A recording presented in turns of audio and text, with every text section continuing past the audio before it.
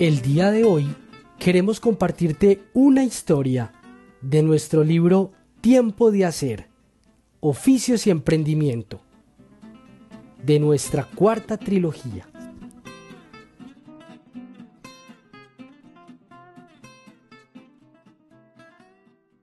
Él es Pedro Paulo Amaya, Villavieja, Huila, es guía del desierto de la Tatacoa el lugar en el mundo donde más le gusta estar.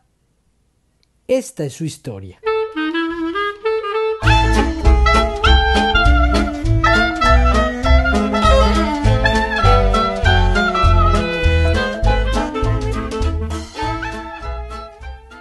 Vivir en el asombro.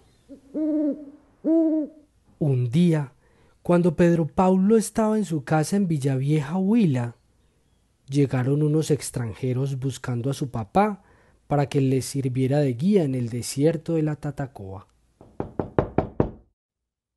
Como su papá no estaba, lo contrataron a él. Ese día descubrió que por este trabajo le pagaban bien.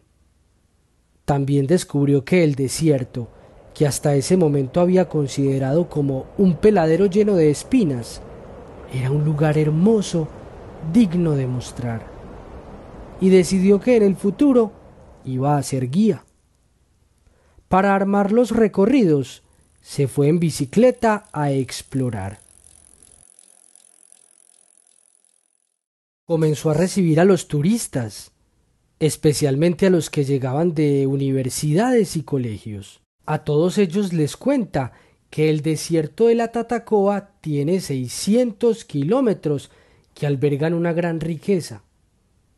En fauna tiene culebras, armadillos, conejos y 72 especies de aves. En flora, plantas espinosas como el cardón y el candelabro. En astronomía cuenta con un cielo privilegiado donde son visibles 88 constelaciones.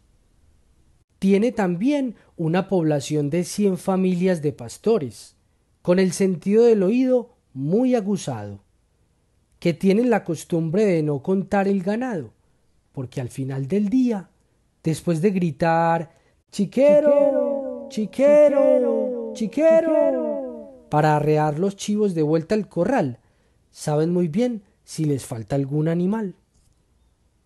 Pedro Paulo ama su trabajo. Le gusta aprender de la gente que lo visita y le gusta enseñarle lo que conoce del lugar del mundo en el que más le gusta estar.